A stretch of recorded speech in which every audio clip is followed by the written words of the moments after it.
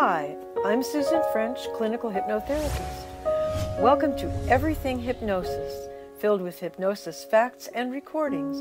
Enjoy and subscribe.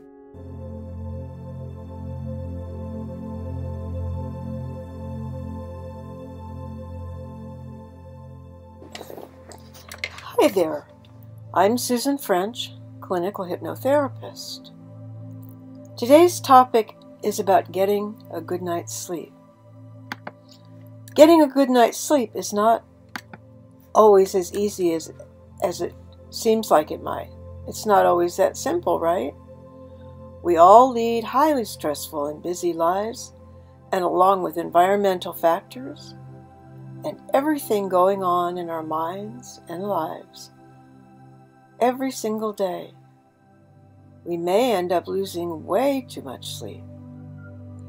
Even the Dalai Lama says that sleep is the best meditation. If you have trouble sleeping, do not lose hope. There are certain things that you can do and habits that you can start to develop to improve your quality of sleep for good. And today I'm going to, get, going to give you 10 tips for better sleep. First of all, no alcohol. If you have trouble sleeping, absolutely no alcohol should be consumed anywhere close to bedtime. Yes, it might make you feel sleepy and relaxed, but unfortunately, that effect will wear off after a couple of hours and you'll wake back up. It has been scientifically proven that alcohol can completely disrupt your sleep cycle. Number two now, wear socks. Why? Because according to a study done in the, 19, in the 1990s, researchers found that people who wore socks to bed slept a whole lot better than those who did not. Having warm feet in bed can help you to fall asleep and stay asleep. And then next, all lights out. Never sleep with any lights on at all. This is a big culprit when it comes to bad sleep. The same goes for cell phones and alarm clocks. Check your cable box and clocks. Anything that has lights can trigger your awake mechanism and start slowing down your release of melatonin. And you'll feel restless and wake up. So keep your room as dark as possible even wearing an eye mask to keep the light at bay. That's what I do. And now, when I put my sleep mask on, I fall sound asleep. Number four, get a little bit of exercise. A little bit of working out each day can give your body what it needs to be able to switch off in the evenings. Number five, if you're able to, paint your bedroom a very tranquil color. That can have a great calming effect on your mind as well as your mood. Keep the things in your room orderly. Number six, pets. I know we all love our cats and our dogs and our birds and even our snakes, but whatever pets we might own, and even our children, your sleep doesn't love them. Although it's comforting to cuddle up with them at night, anything in the bed besides ourselves can compromise our quality of sleep. Even their subtle movements can wake you up and disturb your sleep without you even realizing it. Truly, I'm not being mean.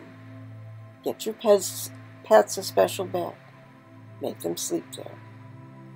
Number seven, avoid naps, except for quick ones.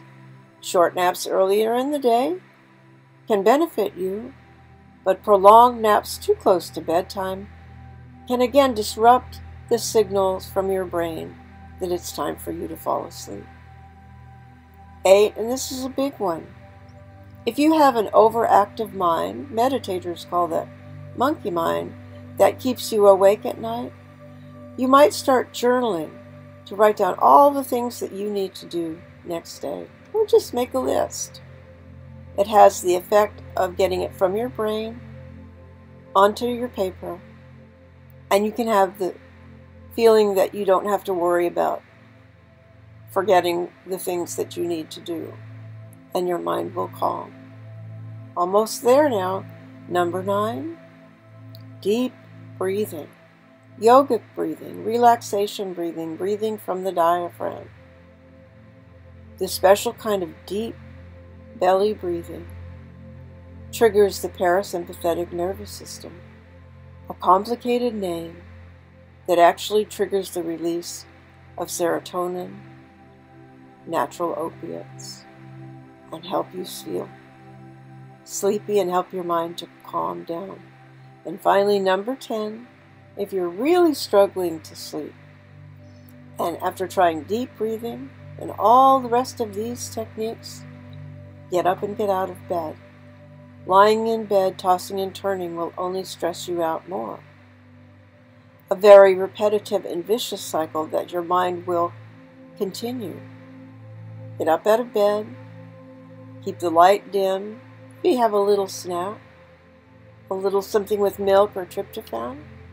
Do some breathing, some muscle relaxation, some hypnotherapy. And then let yourself get back into bed and drift off. The National Sleep Association also has lots of tips and tricks that can help to solve your sleeping problems. Check out the National Institute of Health. Check that out for more advice, but if none of this works, and you've done absolutely everything I've suggested, hypnotherapy might just be your answer. It is a clinically proven track record for getting rid of sleep issues for good, solving the root of the problem instead of just the, sim- the symptoms.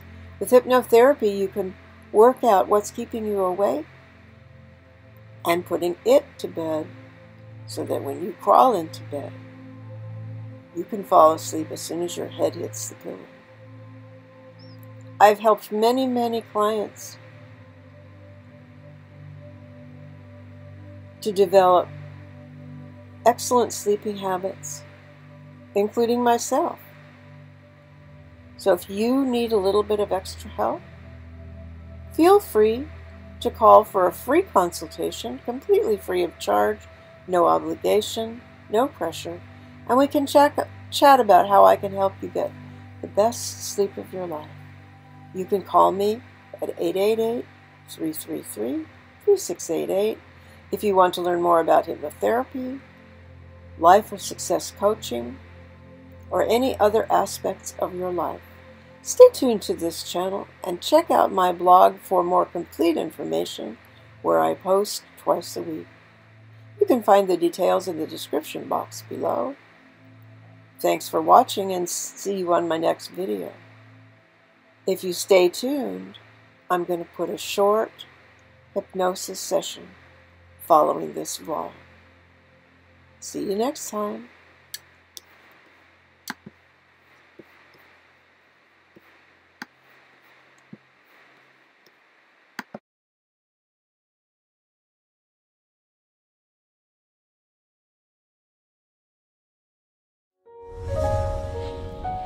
Thank you for dropping by and see you soon.